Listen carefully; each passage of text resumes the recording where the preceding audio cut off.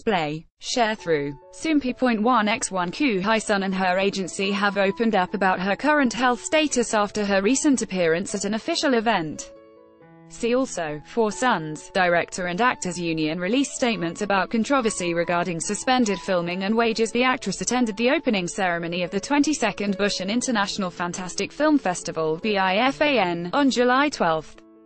The actress left an impact on everyone who attended the event as she was wearing an all-black outfit matched with a red lip color. Ku Hye Sun's new look had people talking, and rumors began spreading on online communities that she was pregnant or was recovering from plastic surgery as people noted that her face appeared to look rounder.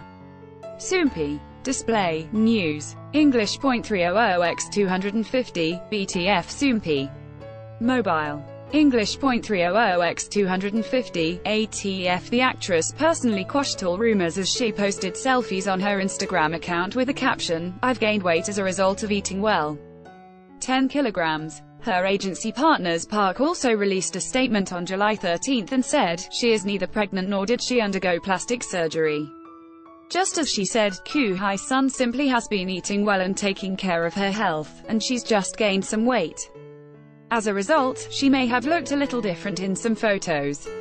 They continued to write, Ku Hye Sun is currently looking over potential projects in order to make her return as an actress.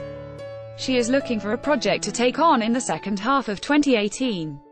Ku Hye Sun has been taking a break from acting since being diagnosed with a severe, allergic digestive dysfunction in March 2017 in order to focus on her health. We're happy to hear Ku Hye Sun is doing better and can't wait for her return as an actress. Source 1, 2, Top Photo Credit, Xports News